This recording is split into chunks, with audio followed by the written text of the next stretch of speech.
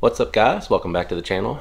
Today we're going to be doing something a little bit different and I'm going to be helping my son install a car stereo in his 2006 Yeah. yeah 2006 Scion TC uh, the cable that was running to his phone allowing him to play through the iPod on his phone has gone bad so we're going to hook up the stereo today and I'll show that to you now so this is the stereo we're going to be installing it's the Kenwood DPX504 with Bluetooth. So he's really excited about getting this installed. The first thing we're going to be doing is wiring up the harness. We picked up a universal harness so that he can retain his factory wiring harnesses and we're going to hook up the harness that goes from the stereo to that harness. Alright, so we're going to go ahead and remove the harness for the Kenwood.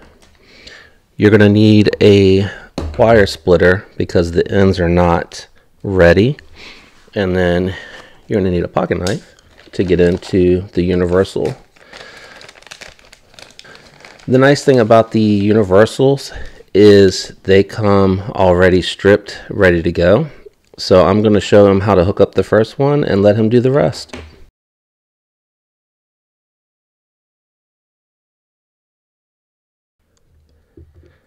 All right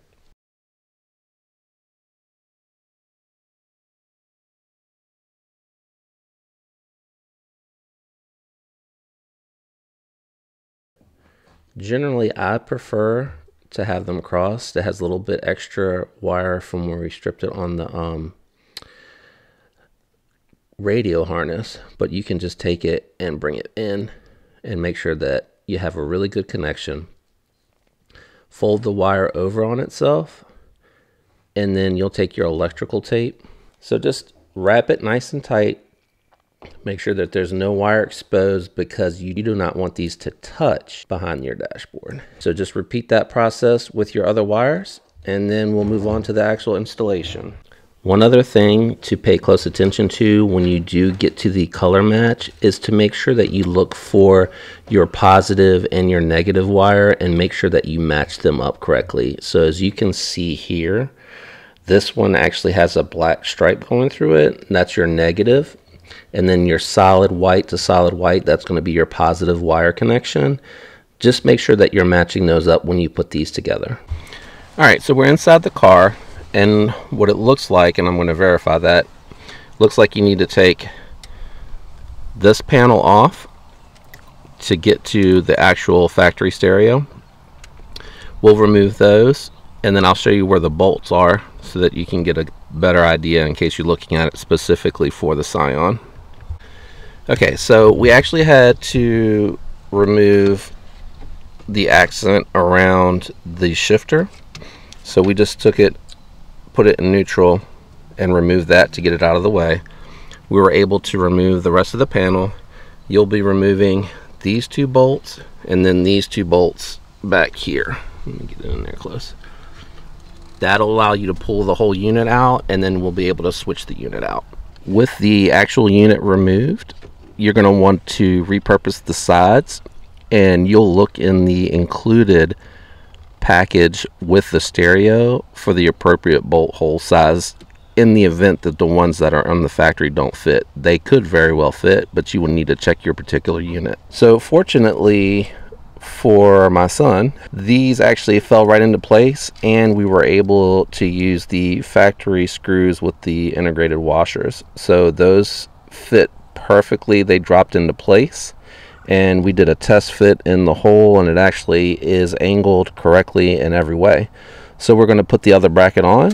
We'll go ahead and plug in the harness and we'll show you what that looks like with the antenna and everything so you know where everything goes back just in case. Okay, now once you have everything back in place, you should be able to plug in your antenna. In this case, the Kenwood is on the opposite side plug up the Kenwood harness to the Kenwood radio and then you'll plug in your rear speakers and you'll plug in your front speakers and power hookups to the factory harness.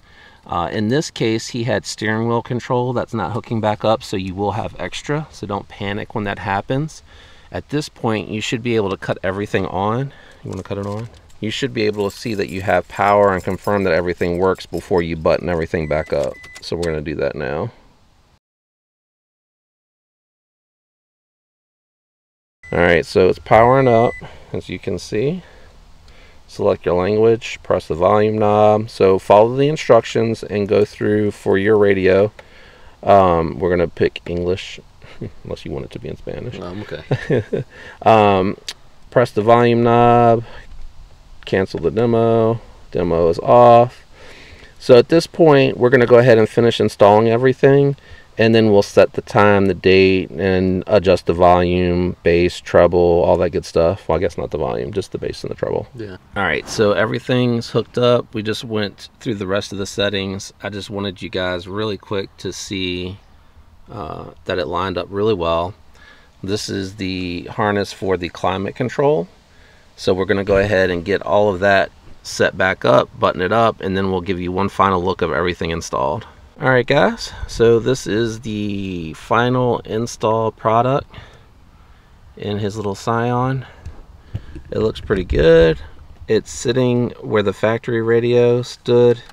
So his little factory Scion cover still works with it and everything. So there's clearance. So that's nice. So like if he's parking somewhere and he doesn't want anyone to see what he's got, that'll still work. He has it on the scroll color, so it just changes colors as he goes. But um, very vibrant colors. Not that this is about the Kenwood, but I think it looks really good, even though you can see the reflection of the camera right now. But that's it. Um, hopefully that was helpful to some of you guys. I know it was a little bit different from the stuff that I normally do, but I kind of like to capture all this stuff to give you something different and maybe be helpful to others as well. That's it. Thanks. Peace.